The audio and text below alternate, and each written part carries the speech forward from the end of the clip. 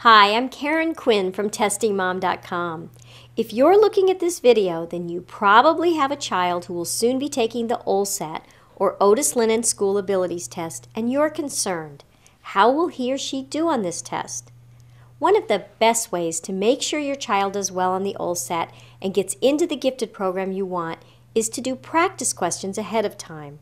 The OLSAT can be a very difficult test.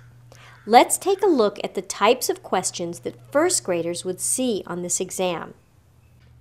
Here, a six-year-old would be asked, look at the letters and numbers in the first box. Now mark the box that shows what would happen if the 2 switched places with the A and the 3 switched places with the D. The question cannot be repeated.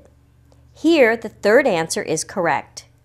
Can you imagine asking a child so young to do that for the very first time on a test where the results are so important?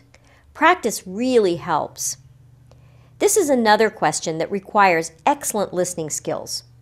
Mark the box that shows the soup first, the hot dog third, and the feather second. Questions like this can be tough for young kids who are seeing them for the very first time. And finally, in this question, the child has to identify which of the figures does not belong. The fourth answer is correct. It takes strong visual spatial reasoning skills to solve this one.